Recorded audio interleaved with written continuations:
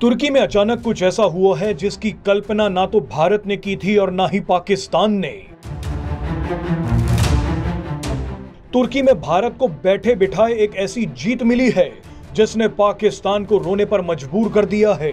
क्योंकि पाकिस्तान को भारत के खिलाफ सिर्फ़ एक ही मज़बूत मुस्लिम देश का साथ मिला था और वो देश तुर्की था, लेकिन तुर्की आसमान से ज़मीन पर आकर गिर गया है। कट्टर सोच और भारत से गद्दारी करने वाले एर्दोआन अपने साथ तुर्की को भी ले डूबे। एर्दोआन के खिलाफ बगावत शुरू हो गई है और इस बगावत में तुर्की के आम लोग भी शामिल हो रहे हैं। तुर्की के राष्ट्रपति एर्दोआन को बहुत ही बड़ी और शर्मनाक हार का सामना करना पड़ा है। 21 वर्ष पहले सत्ता में आए एर्दोआन की ये पूरे देश में पहली हार है। तुर्की की प्रमुख विपक्षी पार्टी ने इस्तांबुल और अंकारा समेत देश के कई बड़े शहरों में हुए स्थानीय चुनावों में जीत हासिल कर ली है। मज़े की बात देखिए कि इस्तांबुल में तो मेयर चुनावों में एर्दोआन ने खुद प्रचार की बागडोर संभाली थी। एर्दोआन इसी शहर में पले बढ़े थे और वो इस्तांबुल के मेयर भी रह चुके हैं।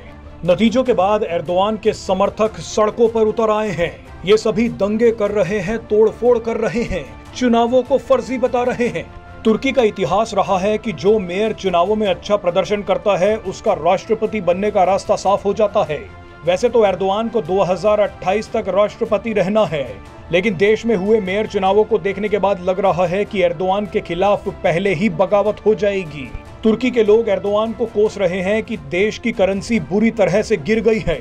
देश में महँगाई दर 70 फ़ीसदी तक पहुँच गई है। एर्दोआन तुर्की को मुस्लिम देशों का लीडर बनाने के चक्कर में कट्टरता की ओर ले गए।